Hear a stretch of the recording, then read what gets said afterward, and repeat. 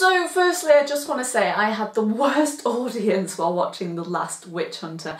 I found myself sitting right at the front to avoid the bag rattlers and lip smackers. I was so close I felt like I was sat on Vin Diesel's lap. That wasn't enough to keep me awake. This is witches doing paint by numbers. Sometimes films just need to stay on the blacklist. There is a reason why they are there. Some parts work, but for most of the film it would get lost in its own ideas. It couldn't find the exit, instead bouncing off the walls of incoherent mess. The film keeps adding ideas and characters and doesn't know when to stop. Though I will admit, Joseph Gilgun sounding like a character from Red Dead Redemption was actually a highlight of the movie. The film has clearly concentrated on the special effects and forgot all about the other elements of the film.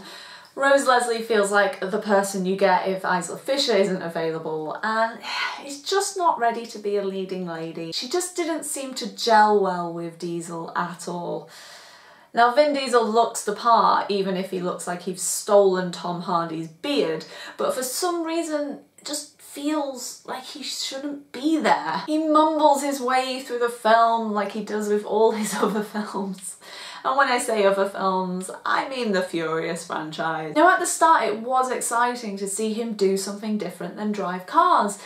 And in this case, he's hunting witches. And as exciting as that sounds, it soon falls flat as he possesses no personality. Which is made worse when he spends the majority of the film acting against a charismatic Michael Caine. If it wasn't for the breath of fresh air that is Caine, the movie would have been a right stinker just make sure you give yourself a good old spritz beforehand, else you will come out of the film smelling like rubbish too. I couldn't discuss with you one single scene because the film is instantly forgettable and it also managed to make you feel incredibly sluggish.